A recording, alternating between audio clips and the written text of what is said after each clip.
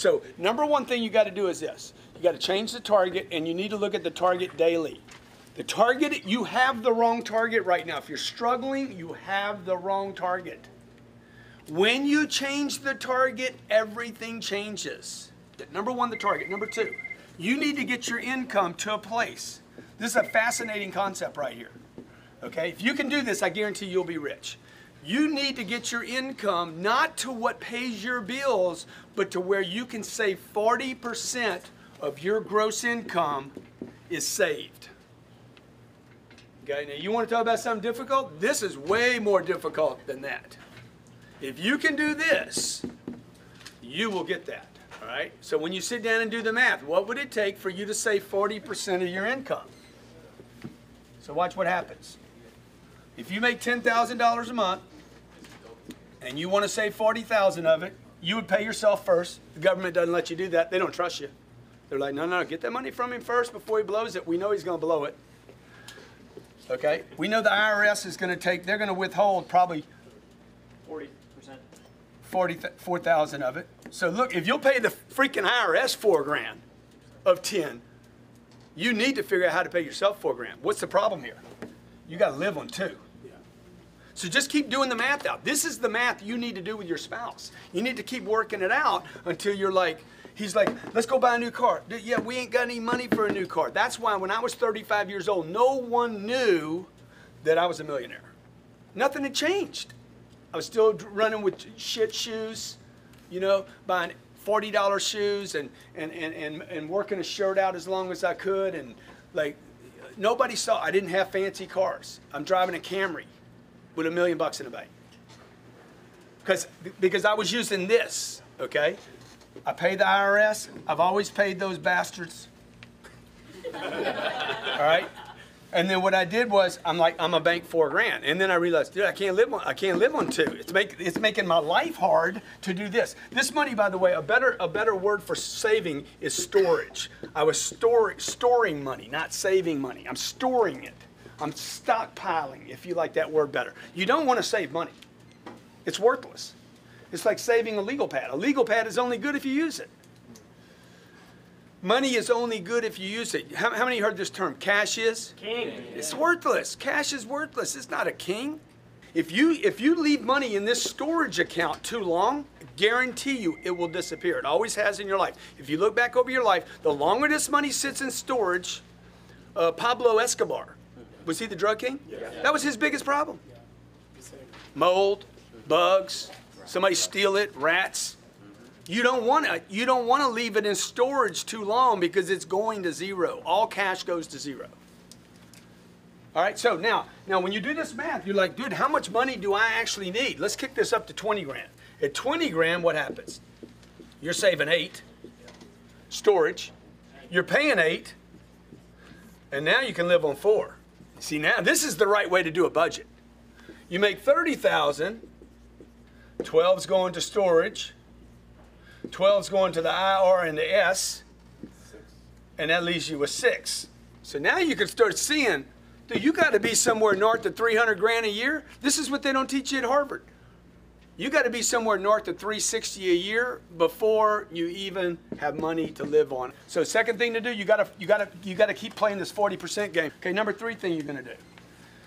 You're going to go broke right here and invest the storage. Storage has to get invested.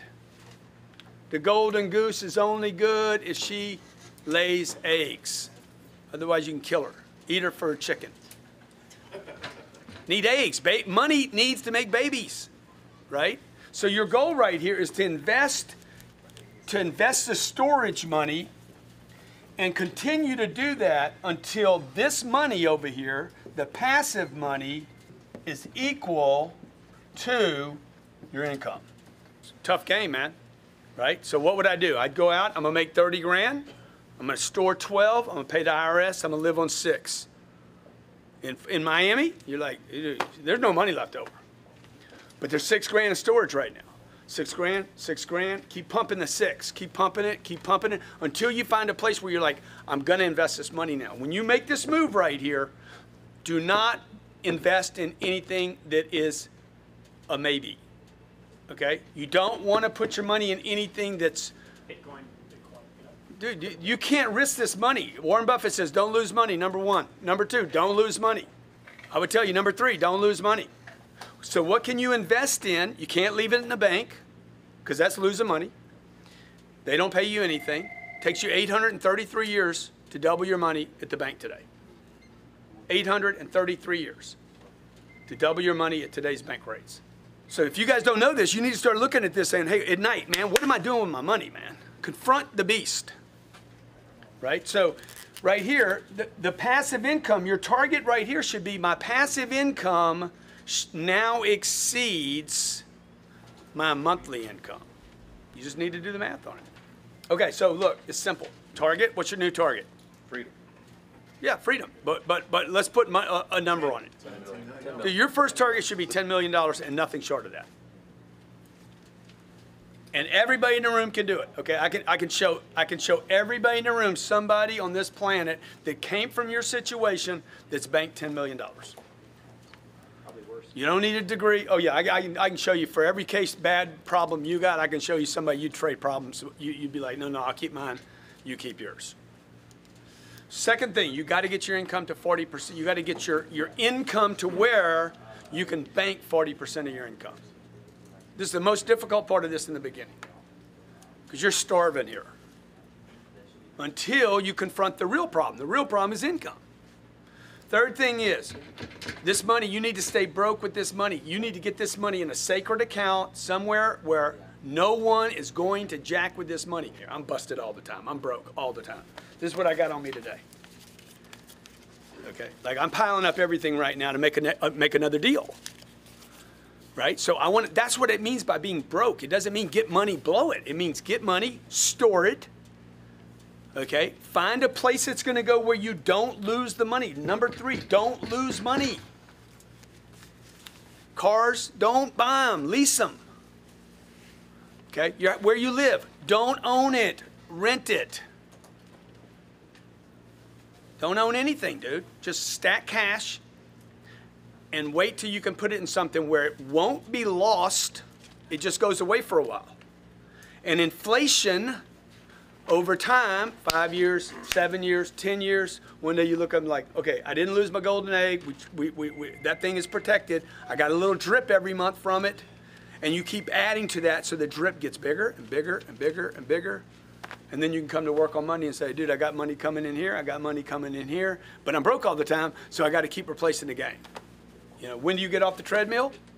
Whenever you want to. Perspective number three, as far as investments, what do you feel is the like your top three safest investments?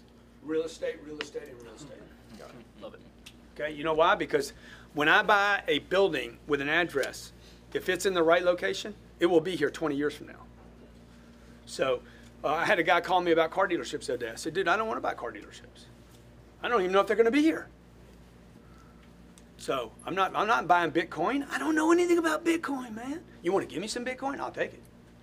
But I'm not buying Bitcoin because I'm not, I'm not buying Twitter stock. I don't know anything about Twitter. Is Twitter going to be here in the future? I don't know. I know I only invest in things that I know will be there in the future, excluding my condo. I'm not going to buy that. I don't. I don't need that.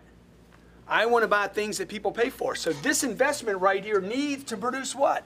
One of the criteria: can't lose money. Number two, it has to give me a drip. If it don't have a baby, I ain't buying it.